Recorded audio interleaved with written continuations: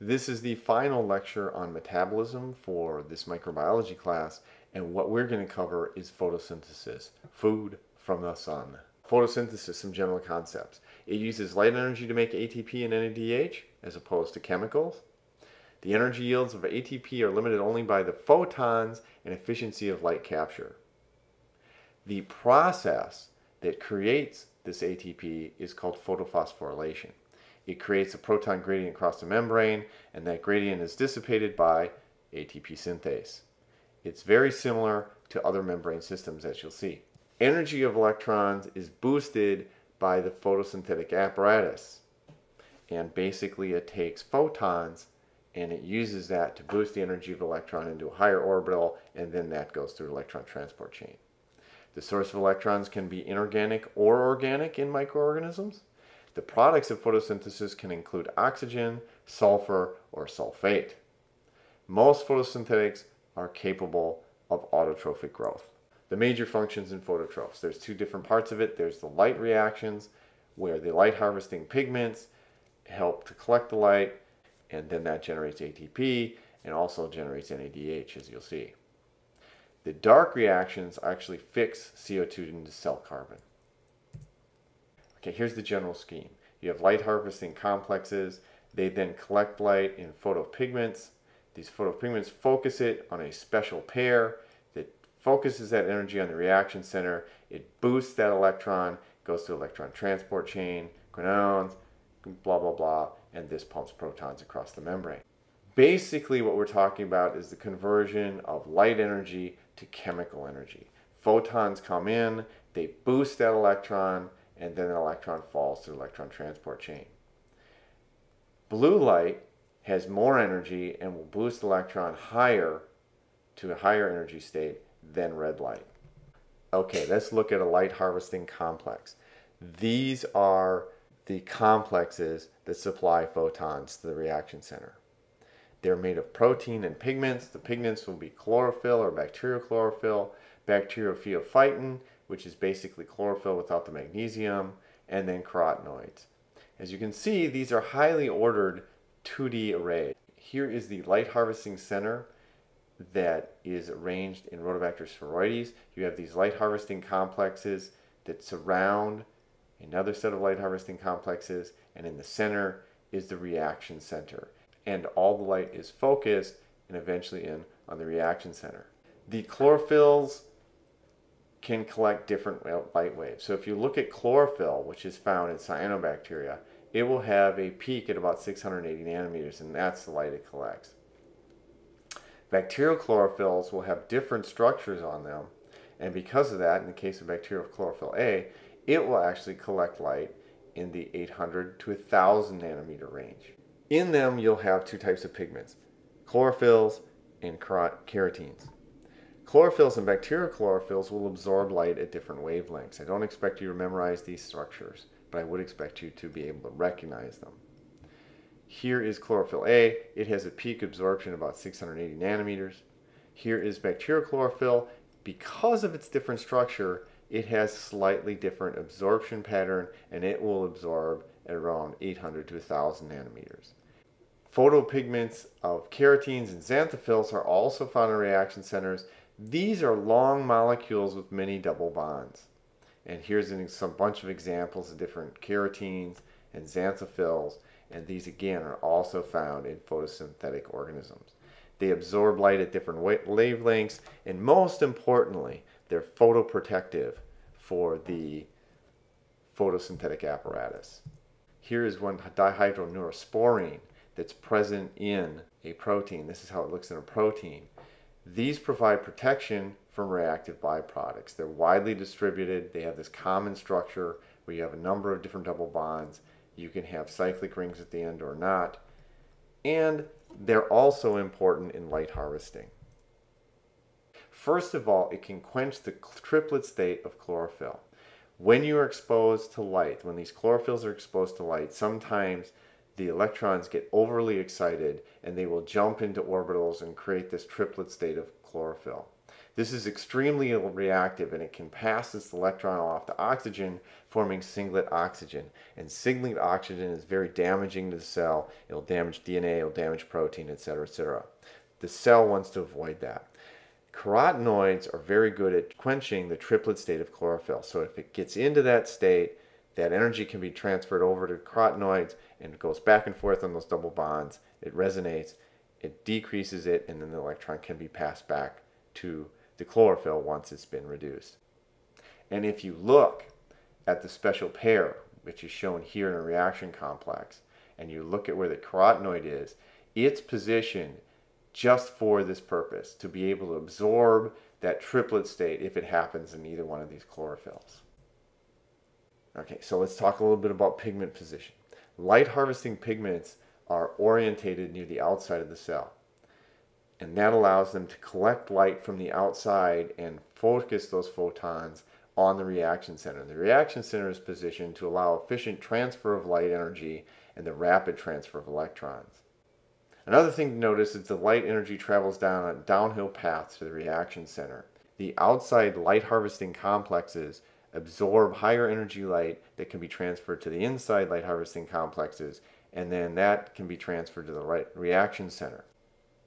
The reaction center is where the light energy is focused. You have a whole bunch of different pigments. You have the special pairs, bacterial chlorophyll or chlorophyll. You have carotenoids, you have bacteriophytophytin, you have non-heme iron, and you have quinones. And what happens is light boosts this energy up.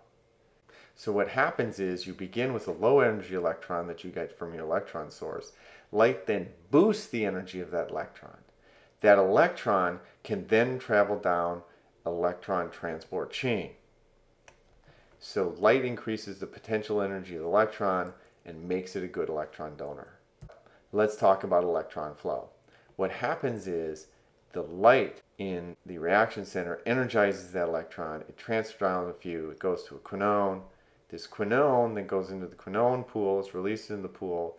It travels to a electron transport system this then is donated to a number of different electron carriers, eventually back to a cytochrome, and then back to the reaction center. In the process of going through these electron carriers, protons will get pumped across the membrane. If you look at a reaction center, and here is the special pair, you can actually see its transport through different molecules. It goes from chlorophyll to bacterial right here in yellow, to an iron sulfur center right here to a quinone, and then this quinone is released out into the quinone pool. So the essential parts.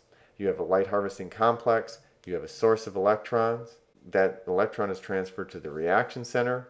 The reaction center boosts the energy of that electron. It goes on to electron transport chain that creates a proton gradient. That proton gradient is then dissipated by ATP synthase that makes ATP. Finally, you have an exit pass for the electrons that results in the reduction of NAD to NADPH. And this is where they get their source of reducing power. So photosynthesis and these light harvesting react these, these light reactions can create both ATP and NADPH. There are several types of photosynthesis. Anoxygenic photosynthesis does not generate oxygen, it has many different sources of electrons, and there's a number of different groups of bacteria that do this the purple bacteria, the green bacteria, and the heliobacteria, among others. Oxygenic photosynthesis generates oxygen, uses water as a source of electrons, and this is done by cyanobacteria. This is also a system that plants use. Okay, let's talk about these systems. First of all, there's the purple bacteria. They are found in freshwater and marine environments. They are gram-negative rods or spirilla, and they are members of the proteobacteria, the alpha, beta, or gamma proteobacteria. Their physiology, in their photosynthesis, they will use electron donors such as hydrogen sulfide, hydrogen, or even organic acids. They do not have to use inorganic sources of electrons. And they will oxidize sulfur or sulfate, and they obtain carbon from carbon monoxide, CO2, or organic acids. Here's an example of various blooms of purple bacteria where lake water is inoculated into a medium and just incubated under the light. You can see there's many different colors that come up. They're very interesting organisms. One thing that's really neat about the group of purple bacteria is they are facultatively photosynthetic. They don't have to grow photosynthetically and they can grow in a bunch of different modes.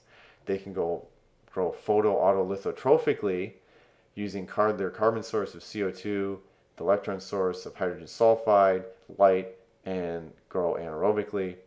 Uh, they can also grow using carbon monoxide as the carbon source. As a third mode of growth, they can use succinate as their carbon source and their source of electrons, but generate their energy from light. And this is photoheteroorganotrophically.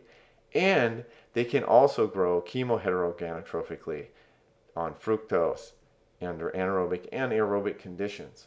These organisms are incredibly versatile and they've been a great research model because their photosynthesis is not obligate. You can make mutations in the photosynthetic apparatus, the organism can still survive, and then you can investigate them.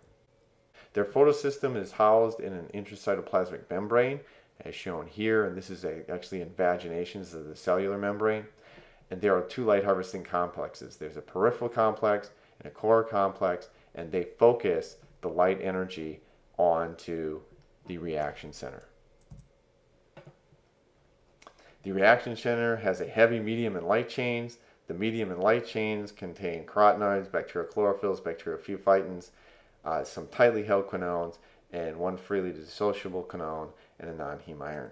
If you look at electron flow in these organisms, and here's the complexes, you can see that light comes in, it energizes the electron, it goes into a quinone. Once that quinone is fully charged, it then transfers over to a light harvesting complex, and you'll notice the quinone donates the electrons and the protons, but the protons then are pumped across the membrane because the iron sulfur center won't take both. So you can see right here, the proton is released, the electron goes on here, and you end up pumping protons across the membrane. Okay, so that's how that system works. So that's the way they can generate a proton gradient and then ATP. The other thing they need is a source of reduced electrons. And what they do is something very interesting, where they'll take an external electronic source, right? It gets onto the system, it's pumped in, and then they block being, having it be used for electron transport. And normally, quinones would not have enough electron potential to donate to NADP to make NADPH. But what the cell does is it stops transfer to this BC1 complex and the quinone pool then builds up so you have a lot of reduced quinone. And by changing the equilibrium, you can now push this reaction forward and donate electrons to NADP. And again, this is another example of the cell manipulating the equilibrium of a reaction, in this case increasing the concentration of substrates so that it can make the product NADPH. So that's how they get their reduced electrons. Green bacteria. Green bacteria are gram-negative, they're obligate phototrophs. They use their light harvesting via a chlorosome. Now, their phylogeny is that they are a distinct group and they're not related to other phototrophs. Here we're going to focus on one of these groups, which is Chlorobiaceae, which are green sulfur bacteria. Here's some examples of different green sulfur bacteria, and they're called sulfur bacteria because they will make these globules of sulfur while they grow. Don't expect you to remember these. This is just for your entertainment. Okay, their physiology. They are strict anaerobes. They are obligate photoautolithotrophs. They're electron donors all can use H2S. Some can use hydrogen gas or thiosulfate as their source of electrons. Their big distinction in my mind is the formation of this chlorosome. And this is elliptical structure that's just under the cytoplasmic membrane. Shown over here is the cytoplasmic membrane. This elliptical chlorosome is just underneath. Bacterial chlorophyll C is inside here and it's used for light collection but it's not associated with a protein. There's just this crystalline array of this bacterial chlorophyll, and it's exquisitely sensitive. These organisms are very good at collecting light under very low light conditions. That light energy is collected, it then goes to a base plate, and then goes through electron transport chain. You have this core polypeptide that's part of the reaction center. You have here this light harvesting chlorosome, which will collect photons and then funnel them towards the reaction center. It then excites an electron on the special pair. It travels down through several different chlorophylls, ends up in a quinone, and then goes through a cyclic electron transport, which ends up pumping protons across the membrane. Here's the chlorosome, here's the reaction center, a cytochrome complex, and a cytochrome C554. So light comes in, it generates energy. Again, the electrons go through a series of electron carriers, end up in a quinone. The quinone then goes again to a similar pattern, a cytochrome BC1 complex, and in the process pumps protons across the membrane. So you can watch that cycle again. You can see the, the light come in, boost the electrons, boost more electrons, protons come onto the quinone, here taken from the cytoplasm, get pumped across the membrane. An alternate pathway to generate their NADH, they will, these electrons can, instead of going to the quinone, go to an iron sulfur center, go through a few complexes, and end up on NAD, NAD to make NADH. In this case, the electrons are boosted to a high enough energy that you don't need to use any tricks. They'll just donate directly to NAD to form NADH. Finally, there are the cyanobacteria. Cyanobacteria is ubiquitous in the environment. They're some of the most successful organisms on the planet. They're found everywhere deserts to tropical forests, oceans, and even thermal hot springs. These over here are shown various cyanobacteria that were isolated from the desert. They're gram negative, they're obligate phototrophs, and they do oxygenic photosynthesis. And this is a plant-like photosynthesis. They form a tight phylogenetic group, so they're a single group of organisms. Their light harvesting complex involves phycobilisomes proteins, and a phycobilisome their photosynthetic machinery is in thylakoid membranes, and if you've learned about photosynthesis in plants, this should start to sound familiar. There's three different kind of complexes. There's phycoerythrin, phycocyanin, and allophycocyanin. And the arrangement of the proteins allows energy transfer. You'll have phycocyanin, for example, in this case on the outside, allophycocyanin on the inside. Again, high energy, light can then be transferred and eventually ends up in the reaction center. The reaction center is a combination of the purple and green apparatus.